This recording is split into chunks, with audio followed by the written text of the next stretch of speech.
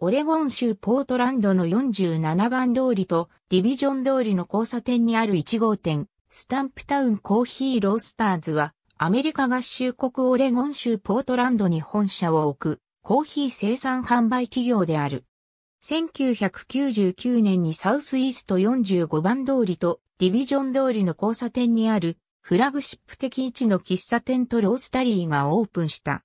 ポートランドには、その他喫茶店3店舗とロースタリーとテイスティングのための別館があり、シアトル、ニューヨークにも進出している。2012年8月、本社をポートランド市内にあるセントラルイーストサイド工業地区に移転した。ポートランドにおいて革命的なコーヒービジネスを掲げ、コーヒー消費者の持つ味覚の洗練を支援することを自社の召喚校や品質基準にしている。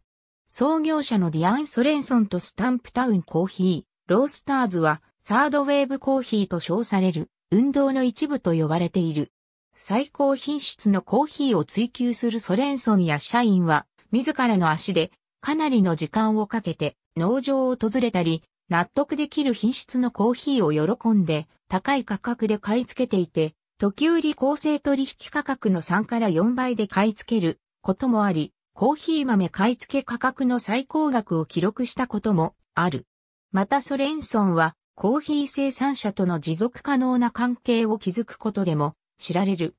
サウスウェストシャーク通りにある店舗ソレンソンは、社員が結成した数組のバンドが参加したコンピレーションアルバムの制作資金を出したり、フルタイム勤務のマッサージセラピストを雇用するなど、社員に対し珍しい特典を提供している。そして、ロースターオブザイヤー2006など数ある賞を受賞している。2011年、ニューヨークの未公開株ファンドである TSG コンシューマーパートナーズから TSG の下でオレゴン州での事業再登録を含む大規模投資を受けたが、税金に関する要因により現在財政的な拠点をデラウェア州に置いている。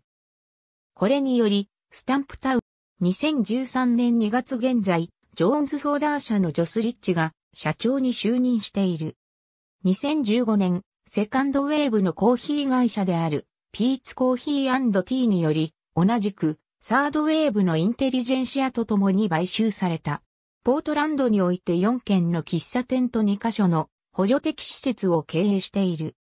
サウスイースト45番通りとディビジョン通りの交差点、サウスイースト34番通りとベルモントの交差点、サウスウェスト3番通りとアッシュ通りのダウンタウンと、サウスウエストスターク通り線22にあるエースホテルポートランド内にカフェを出店している。サウスイースト34番通りとディビジョン通りの交差点に焙煎工場が本社内に販売店がある。サウスイーストディビジョン通りにある店舗はかつて、ザ・ヘア・ブレンダーと呼ばれたヘアサロンがあり、現在スタンプタウンのシグネチャーエスプレッソブランド名の一つに採用している。また、コーヒーのテイスティングに特化した施設をオープンさせていて、クローバー 1S という機械を使ってコーヒーを入れているが、クローバー 1S は生産を終了していて、メーカーであるコーヒーエクイプメントカンパニーはスターバックスに買収されている。2013年現在、